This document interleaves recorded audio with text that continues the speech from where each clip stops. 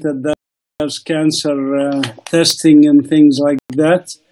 And uh, we started this museum about two years ago. That was the second major project that we started here, me and my wife, uh, since we came back here.